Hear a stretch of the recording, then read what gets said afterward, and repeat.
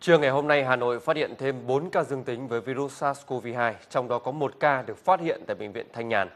Trước thông tin đây là một trường hợp lây nhiễm chéo tại bệnh viện, đại diện đơn vị này và Sở Y tế Hà Nội đã phủ nhận và cho biết đây là trường hợp nhân viên dọn vệ sinh trong khu vực 11 bệnh nhân dương tính tại Bệnh viện K chuyển sang và đã được chủ động cách ly trước khi có kết quả khẳng định.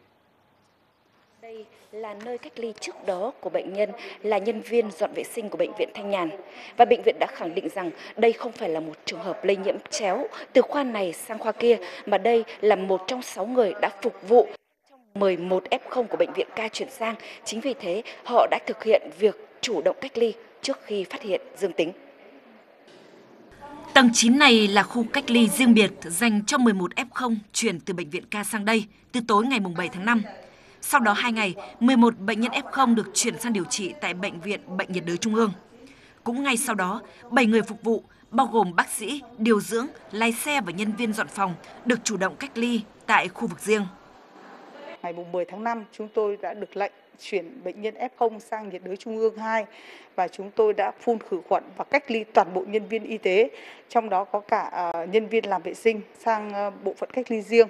và chúng tôi đã lấy chủ động lấy mẫu làm xét nghiệm thì ờ, trong 6 7 người cách ly thì 6 người của chúng tôi xét nghiệm âm tính và có một ờ, nhân viên ICT ờ, làm vệ sinh thì kết quả là dương tính. Sau khi 11 F0 được chuyển đi, nơi đây tiếp tục đón nhận các F1 tại khu vực tầng 9 với những quy trình nghiêm ngặt của việc điều trị các trường hợp liên quan đến COVID-19. Là một trong 8 bệnh viện được giao nhiệm vụ thu dung và điều trị bệnh nhân COVID-19, Thanh Nhàn đã đưa ra quy trình khám sàng lọc và phân luồng ngay từ cổng bệnh viện. Do vậy, ca dương tính mới được xác định nguồn lây rõ ràng là từ F0 của bệnh viện ca, chứ không phải do lây nhiễm từ ca bệnh có nguồn gốc tại bệnh viện Thanh Nhàn. Khi mà tiếp xúc với người đã được xác định là dương tính rồi thì họ ờ, có phòng hộ rất chắc chắn nhưng mà khả năng lây nhiễm là chắc là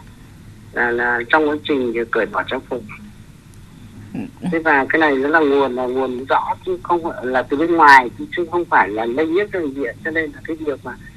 uh, mặc dù ca này là nhân viên của thanh nhàn nhưng mà ở bệnh viện thanh nhàn thì cũng không có nguy cơ gì bởi vì là cách ly ngay từ đầu rồi. Hiện ekip phục vụ 11 F0 của bệnh viện ca bao gồm 6 người đang được cách ly tại khu vực riêng, đã có kết quả xét nghiệm hai lần âm tính. Còn bệnh nhân là nhân viên dọn phòng dương tính đã được chuyển sang bệnh viện Bệnh nhiệt đới Trung ương cơ sở Đông Anh để điều trị. Đến nay, các hoạt động khám chữa bệnh của bệnh viện Thanh Nhàn vẫn diễn ra bình thường. Chiều nay, Trung tâm Kiểm soát Bệnh tật CDC Hà Nội đã thông tin về một cặp vợ chồng có lịch sử dịch tễ đi Đà Nẵng cùng chuyến bay với hai chuyên gia Trung Quốc mắc COVID-19 đang nghi bị mắc bệnh. Đáng chú ý, hai người này đã vào bệnh viện Việt Xô khám bệnh nhưng không khai báo lịch sử di chuyển, khiến cho khoa cấp cứu của bệnh viện đang phải phong tỏa tạm thời để ra soát.